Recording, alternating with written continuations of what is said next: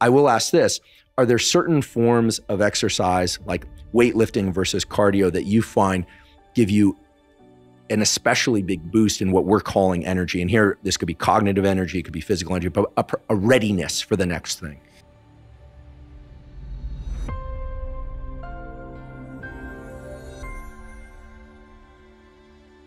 Yeah, first I got to back you up on this. I love backing up your your your science. So, do you ever do you ever ruck march like put on a heavy weight and yeah, ruck? Pete, uh, sorry to interrupt. Yeah, Peter Attia got me into this. He got me into doing a long Sunday instead of a long Sunday run, throwing on a lightweight vest or a ruck and going out for like three hours.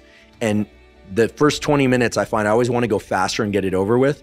But then I've learned that the real pain in it mm-hmm. sets in around an hour, and then the beauty sets in around 90 minutes. Where you're like, I could do this all day, all night, and I never want to stop. See, that's when you were describing how this chemical, these chemicals get released, and once you're in that automatic mode, because in the SEAL teams, you're doing maritime operations for a month, and then you're going to do some eh, kill house shooting, and so you're not carrying a bunch of weight, and then you go out to the desert. And now you're putting on uh, 80 pounds, and you're going on a like day one. And you get out there, you're going on an 80 pound ruck march, and the first freaking 17 minutes, the first 23 minutes just suck. They just suck. And what was beautiful was by the time I was, you know, 23, 24 years old, I'm like, oh yeah, this is gonna suck for 17 minutes, and then it's gonna be, I'm gonna be a robot, and it doesn't matter anymore. I can just keep going forever.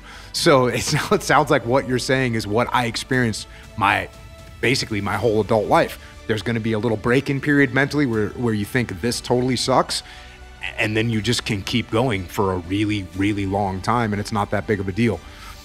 To your question of is there any form of exercise that gives me that energy boost? I, I would have to say like the the high intensity sort of anaerobic blast. You know, whether it's on the bike or on the rower or you know swinging a kettlebell hard, something like that. That last 10, 15 minutes, that's a really good way to you know peak my mentality for the day do you do the cold water thing? I mean, you certainly did a lot of it in BUD/S. I mean, do you you force yourself into cold water? I, have, I have a I have a cold bath in my house, and I get in every day. Yep. How long are you spending in there? Usually around five minutes. Mm-hmm. Five minutes before you train, or after no, you train? after. So mm-hmm. this is something I haven't played with yet, and mm-hmm. for me, I'm like I'm like such a I I don't like to make a bunch of effort for something. So for me, going downstairs, getting in the ice tub and I guess you only need to do it in the, before you work out, you only go a minute, right? do a minute to three. Joe and I have been texting back yeah. and forth about this. There's a lab at Stanford, Craig Heller's lab, that works on cold and performance. And the athletes at Stanford, mainly the, the cross country team and the football players, are doing cold before their training because of the huge increase, huge long lasting increase in dopamine and adrenaline that's caused by that. They're finding it increases performance mainly by waking people up and getting them focused. It creates energy, yeah. basically. And students, you know, everyone thinks of like, oh, athletes are all super motivated this is no pick against Stanford athletes in particular. A lot of athletes are excellent at what they do because they're very lazy when they're not training. This is true. Not all athletes, but a lot of athletes are. And so they're really good at resting and recovering so they can train more. But a lot of athletes have a hard time getting into into gear to, to train every day. And the cold is a great stimulus, right? It's a four it's like a four shot of espresso kind right. of stimulus without all the jitters. Yeah. I think uh, maybe going in there for a minute would be cool before a workout. I will say this. So I had I had like a long workout, and it was a Saturday, which means on Saturday I do jujitsu kind of in the morning around 10 o'clock, and I had like a long workout, went for a long run. It was hot, and I just got in the ice bath, and I sat in there for like seven minutes, like the deep chill. I got out, and then I went right to jujitsu, and I felt awful.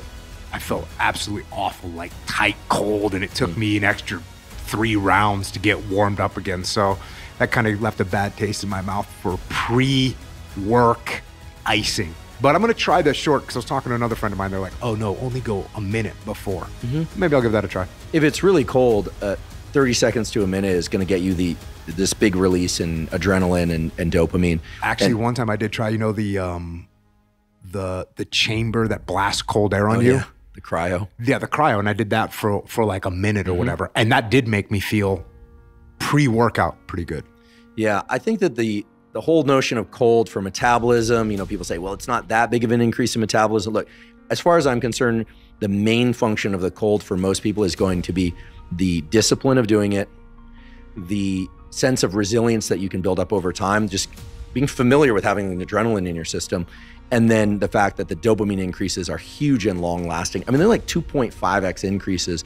Uh, there's a colleague of mine at Stanford, Anna Lembke, who runs our dual diagnosis addiction clinic. She had a patient getting off cocaine addiction who decided to use cold ice baths as a way to kind of assist himself along the way. You know, he wasn't getting dopamine from cocaine anymore, so he decided to get it from the ice bath. The difference is, is cocaine gives you these sharp increases and then decreases that drop you way below baseline. So what do people do? They go seek more cocaine. It's really pernicious that way. Whereas the ice bath and, and cold showers will give this long arc lasting two to three hours or more. And that's really something to treasure. You know, the idea that you can basically save on your heating bill you know, give yourself this huge dopamine increase. And I think everything points to the fact that it's healthy and good. But I mean, obviously it's working for you to do it after your training. I think all the the gym rats who want more hypertrophy, you're trying to get an extra, you know, eighth of an inch on their tricep or whatever, they freak out because they hear that it can inhibit hypertrophy. Um, and then for whatever reason, there's this. So wait, ca- so am I doing it wrong? Well, I mean, yeah, yeah. Clearly, you're you're doing it right now. no, you're not. Uh, you're. I don't think your hypertrophy is suffering. I actually am of the mind that if you're training really hard, sure, getting in the cold afterwards might blunt some hypertrophy. That is what the data tell us. Andy Galpin's kind of the expert on that literature. But frankly, I don't know anyone that trains really hard with the weights and then gets into the cold that looks like they're suffering from hypertrophy. I know a lot of people, however, who love to point fingers at and poke at cold exposure. This seems to be a big thing on social media. People who don't like the cold love to point out the studies showing that the cold screws up everything. Um, and most of them look like they need a few sets in the gym.